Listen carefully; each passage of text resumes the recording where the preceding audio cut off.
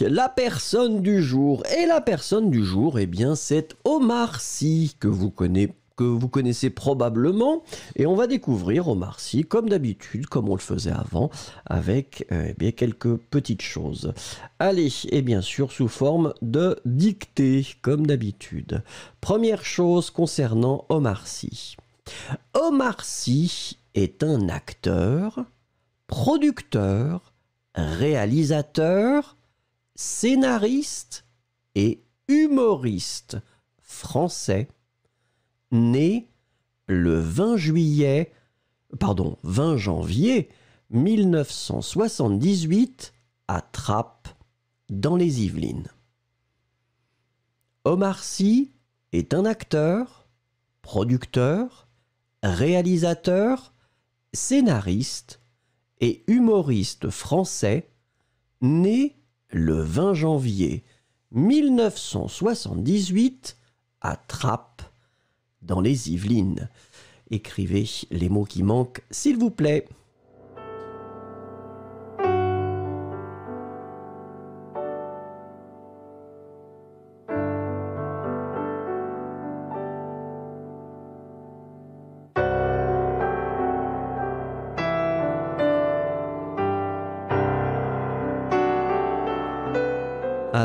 Ensemble. Ça commence à arriver. Les quatre choses que nous cherchions. La première chose, eh bien, c'est producteur. Producteur, vous l'écrivez bien. Ça n'est pas très très difficile, je dois dire, mais je vous félicite quand même. P-R-O-D-U-C-T-E-U-R, un producteur.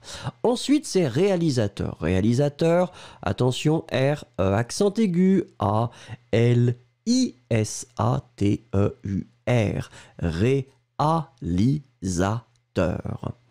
Scénariste, c'était la troisième chose que nous cherchions. Scénariste, vous l'écrivez S-C, on ne le prononce pas, E accent aigu, N-A-R-I-S-T-E. Scénariste, hein, scénariste, ça n'est pas scénariste, hein, c'est vraiment scénariste. Et la dernière chose, eh bien, c'est humoriste. Humoriste, U, ah, pardon, H-U-M-O R-I-S-T-E. Humoriste. Donc producteur, réalisateur, scénariste et humoriste. Allez, on continue avec la deuxième chose, et eh bien concernant Omar. On y va. Voilà. Il accède à la notoriété en formant avec Fred Testo le duo comique Omar et Fred.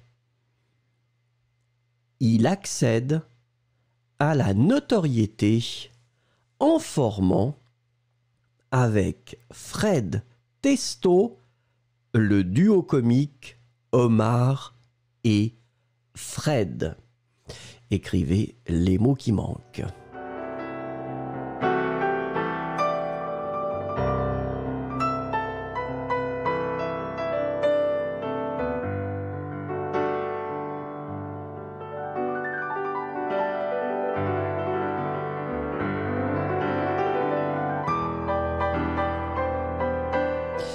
Alors, regardons ça ensemble. Première chose, c'est le verbe accéder. Le verbe accéder, verbe régulier. Ici, on le conjugue à la troisième personne du singulier. Accède, A-C-C-E, accent grave, D-E. Il accède. Ensuite, c'est un substantif. Hein. Notoriété, vous l'écrivez bien. N-O-T-O-R-I-E, accent aigu, Accent aigu. Ensuite, participe présent formant, hein, le verbe s'est formé, formant, F-O-R-M-A-N-T. Et finalement, comique, encore une fois, C-O-M-I-Q-U-E.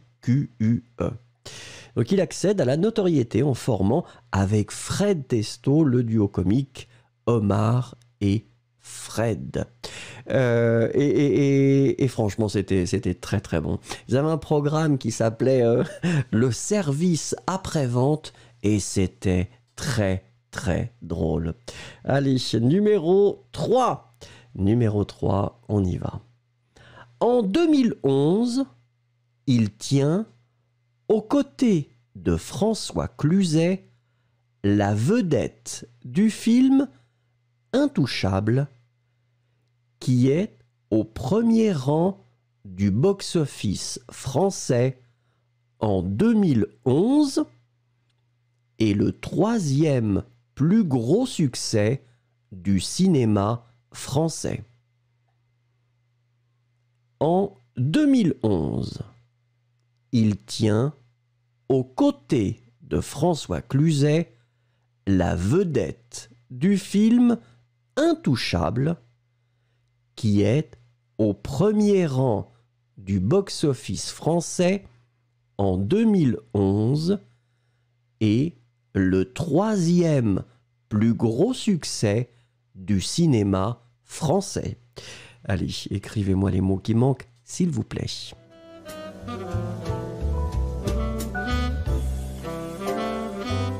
Alors, Chériline qui nous dit désolé, Hoon est un mot d'argot australien.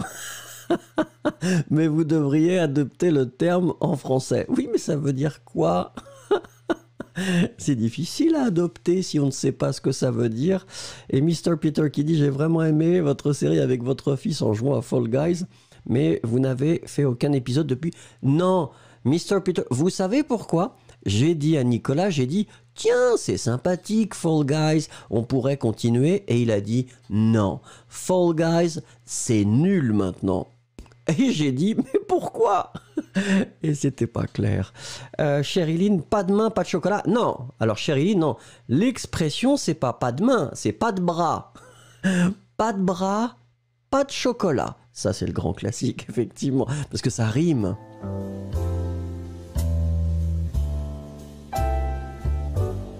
Allez, on continue. Donc ici, nous étions à la recherche de quatre choses. La première chose, c'est un substantif et c'est vedette. Euh, donc féminin, V-E-D-E-T-T-E. D'accord Tenir la vedette, c'est une expression qu'on a. Euh, ensuite, euh, rang, ici, substantif masculin, R-A-N-G.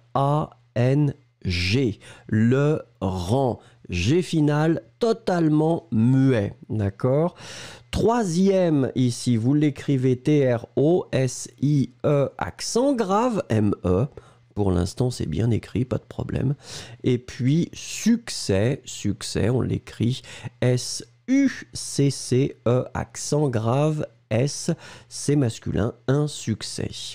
Allez, la dernière chose concernant... Où est-ce que c'est la dernière? Je pense que ça doit être la dernière. Oui. On y va. En 2021, il est la vedette de la série Lupin diffusée sur Netflix. En 2021, il est la vedette de la série Lupin diffusée sur Netflix. Allez, écrivez s'il vous plaît euh, les mots qui manquent.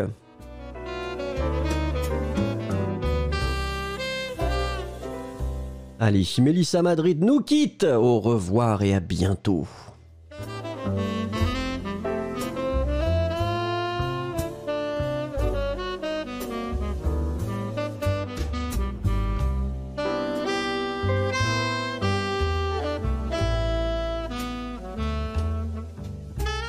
Alors là, hein, là, c'était pas très très difficile. On avait trois choses. 2021, eh bien 2-0-2-1.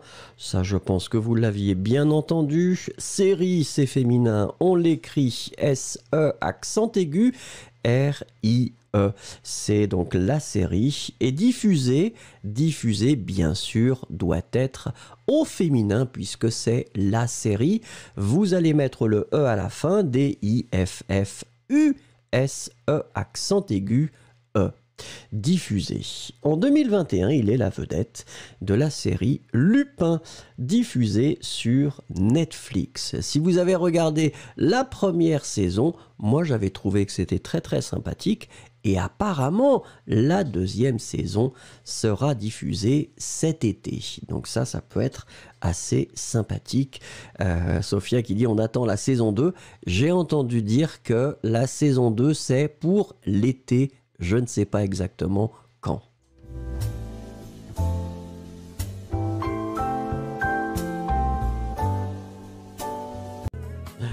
Alors j'aime bien l'explication de Ice Cubes pour le corbeau. Merci. écoutez bien, écoutez bien, c'est notre exercice euh, ben, dans lequel eh ben, vous devez écouter les mots bien évidemment et surtout écrire le mot que vous entendez. Alors une petite seconde, je dois bien sûr préparer, voilà, comme ça ce sera plus simple pour moi et pour vous aussi. Et je me mets au bon endroit. Allez, c'est parti. Voilà. Donc le premier, le voici. Je vous demande, s'il vous plaît, d'écouter et d'écrire le mot que vous entendez. N'écrivez pas la lettre, s'il vous plaît, écrivez le mot. Et le mot, c'est barbarie.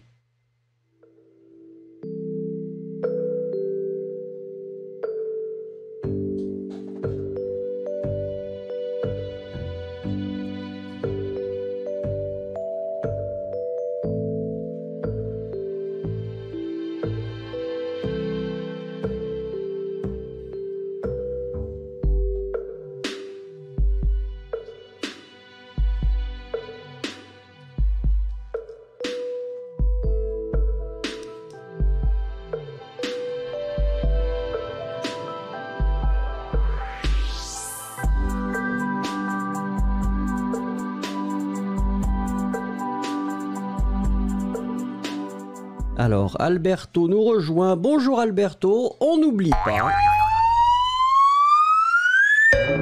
On n'oublie pas de cliquer. Merci beaucoup. Le mot que nous recherchions ici, eh bien, c'était le premier, c'était barbarie. Nous sommes d'accord. Pour tout le monde, c'était euh, clair. Regardons les deux. Barbarie, c'était le A. Et le B, eh bien, c'était barbarisme. D'accord Le A, barbarie, et le B, barbarisme. Allez, on y va. Attention, le deuxième. Et le deuxième, écoutez bien, s'il vous plaît, écrivez le mot que vous entendez. Blanchiment. Allez-y.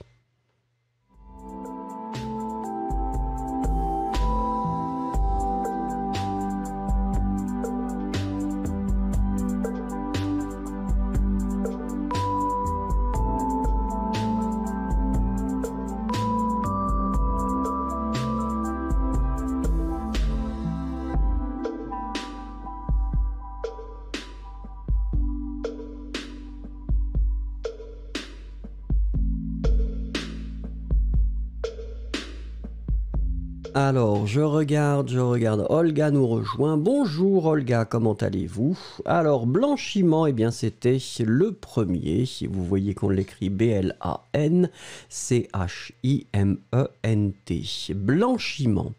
Allez, les deux, on est d'accord. Le premier que nous avions à blanchiment. Le deuxième, blanchissement. D'accord Je n'insiste pas trop sur le blanchissement. D'accord Blanchiment, blanchissement. Allez, on continue avec le troisième. Le troisième, écoutez et écrivez, s'il vous plaît. Scission. Allez-y.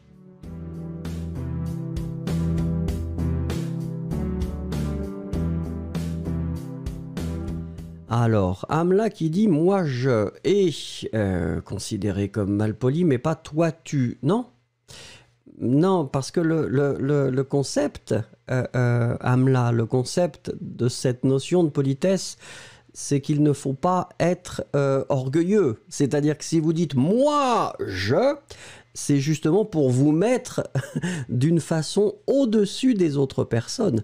Donc c'est ça qui est considéré comme euh, euh, malpoli, finalement. C'est ça qui est le plus, le plus problématique dans cette histoire.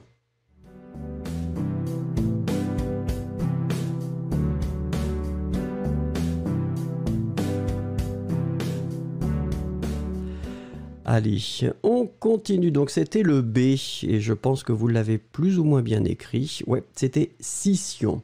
Scission, nous sommes d'accord que vous l'écrivez S-C-I-S-S-I-O-N. Scission. Allez, on va faire les deux. Le premier A, session, une session. Le deuxième, scission, une scission. Session, scission. Allez, on continue avec le numéro 4. Et le numéro 4, eh bien, le voici. Écoutez bien. Concis. Allez-y. Ah, là, ça n'est pas de l'humilité. Ça n'est pas de l'humilité, c'est de la politesse.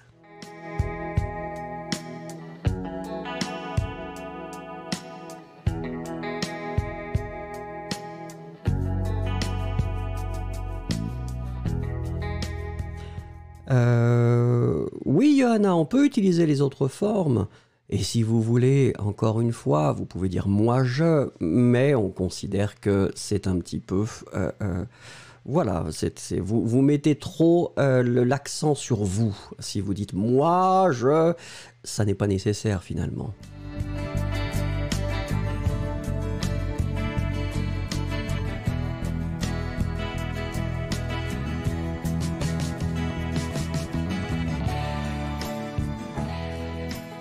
Alors oui, c'était le premier, c'était concis, concis. Vous voyez qu'on l'écrit C-O-N-C-I-S.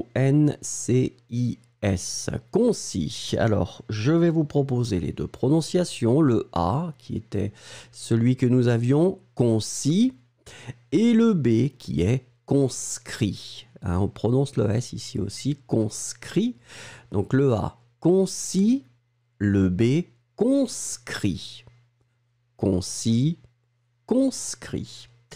Allez, on finit avec le numéro 5. Et le numéro 5, eh bien, le voici. Écoutez bien et écrivez. Collusion. Allez-y.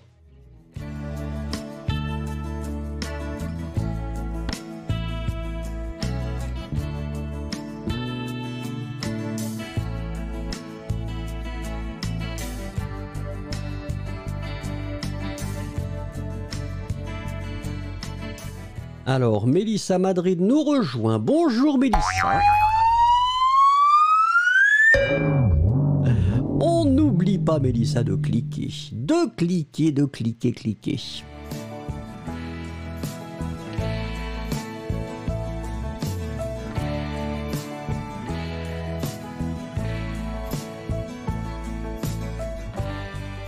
Alors, regardons ensemble, regardons ensemble, c'était le B et c'était collusion, d'accord Vous l'écrivez C-O-L-L-U-S-I-O-N. Alors, on va faire juste les deux.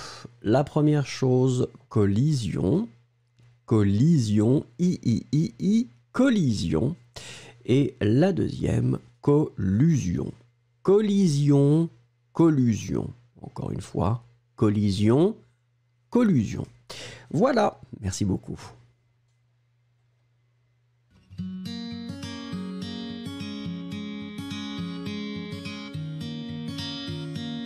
Alors, le livre du jour. Le livre du jour, c'est un livre qui s'intitule La culture du narcissisme. Et bien sûr, nous allons le découvrir en quelques points. Première chose, la culture occidentale est en crise. Le narcissisme moderne, terrifié par l'avenir, ah pardon, le narcisse moderne, terrifié par l'avenir, méprise la nostalgie et vit dans le culte de l'instant. La culture occidentale est en crise. Le narcisse moderne, terrifié par l'avenir, méprise la nostalgie et vit dans le culte de l'instant. Écrivez les mots qui manquent, s'il vous plaît.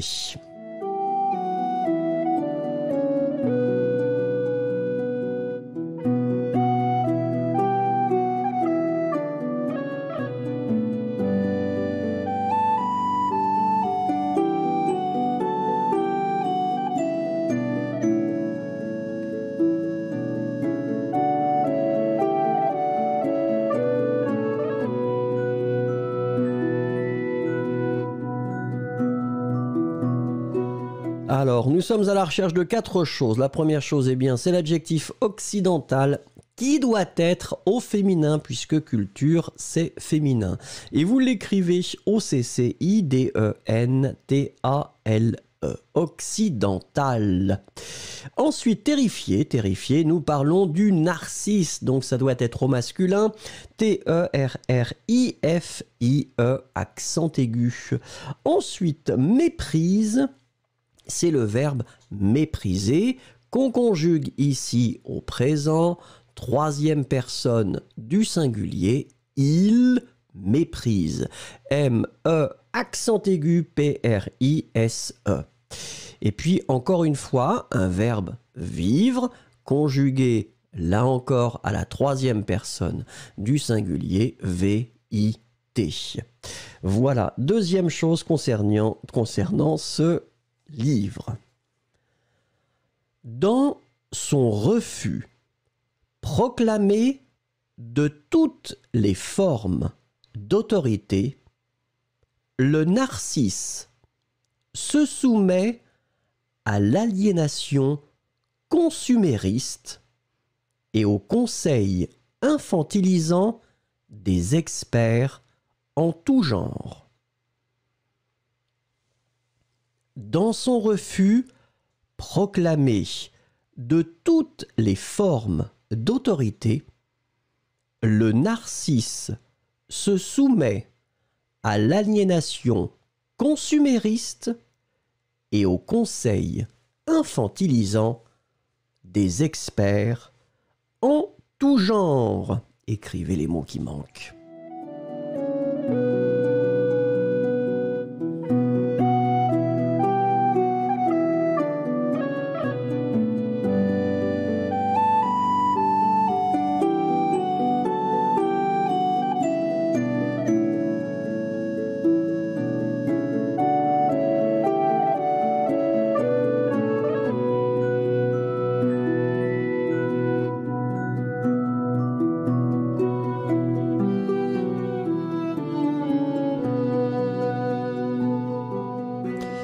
Alors, regardons ensemble les choses que nous cherchions. La première chose, c'est eh bien le substantif refus.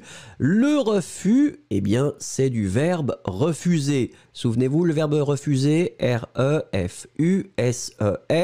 verbe régulier du premier groupe. Nous construisons, eh bien, le substantif, le refus, R-E-F-U-S. Le S final, on ne le prononce pas. Euh, ensuite, les formes, forme doit être au pluriel, F-O-R-M-E-S.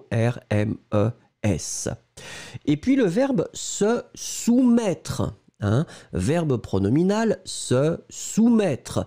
Ici, troisième personne du singulier, soumet, S-O-U-M-E-T. Souvenez-vous, hein, se soumettre, soumettre, c'est comme mettre. Je mets TS. Tu mets TS, il, elle met T. Je soumets TS, tu soumets TS, il, elle soumet T. Et la dernière chose, c'est un, adjectif, l'adjectif consumériste. L'adjectif sera de la même forme si c'est le masculin ou le féminin. Ici, aliénation, c'est féminin. Mais donc consumériste, vous allez l'écrire C-O-N S-U M-E, accent aigu, R-I-T-S, ah pardon, R-I-S-T-E. Consumériste. On continue avec le troisième point concernant euh, eh bien, les personnes narcissiques.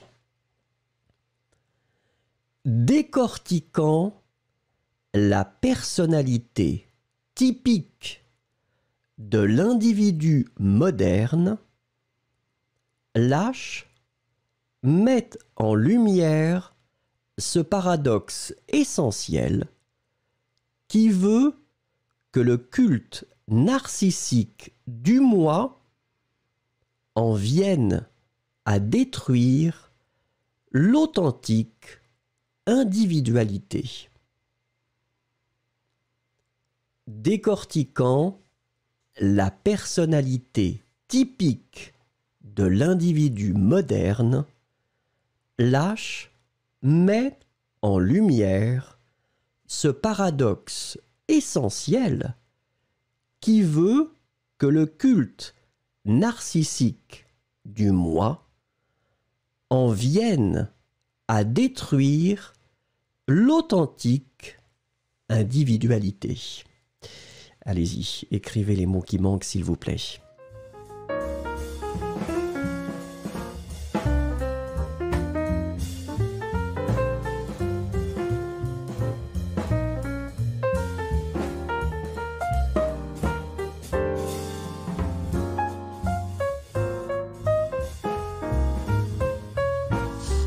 Je tiens à vous rappeler qu'il nous manque, il nous manque uniquement 4 likes. 4 likes et nous allons passer les 100 et là ce serait très gentil. Si vous n'avez pas encore cliqué, c'est le moment ou jamais. Allez-y. Alors là, on était à la recherche de quatre mots, comme d'habitude. La première chose, c'est du verbe décortiquer. Alors c'est vrai que c'est un verbe qui est assez long. Décortiquer. Ici, eh bien, vous avez le participe présent décortiquant.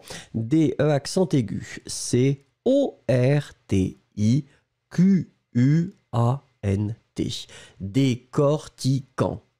Ensuite, c'est le verbe mettre verbe mettre, conjugué à la troisième personne du singulier présent M-E-T. Il met. Et puis ensuite, adjectif narcissique, hein, masculin, féminin, c'est la même forme. Heureusement ou malheureusement, je ne sais pas. Vous l'écrivez N-A-R-C-I-S-S-I-Q-U-E narcissique. Et finalement, détruire, le verbe détruire qui doit être à l'infinitif. D, E accent aigu, T, R, U, I, R, E. Voilà, je vois 99 likes, je ne vois pas 100 encore, j'appuierai quand je verrai 100 likes sur mon compteur.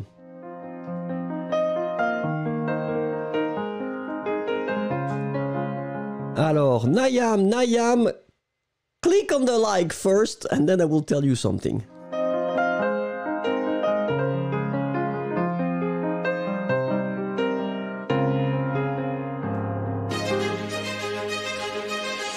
Eh oui, eh oui ah. J'avais peur, j'avais très très peur, je pensais que nous n'y arriverions mais nous l'avons fait. Merci beaucoup si c'est euh, Nayam qui a cliqué. Merci, merci. So Nayam, this lesson is in French only, but then uh, after the, weekend, on Monday, it will be in English and in French. D'accord? So this is the, way it goes, and that's the reason why I will only speak French right now. Allez, on continue. Euh, Christopher Lache déroule le fil d'une analyse souvent subtile nourri de psychanalyse et de sociologie. Christopher Lash déroule le fil d'une analyse souvent subtile, nourrie de psychanalyse et de sociologie. Écrivez les mots qui manquent.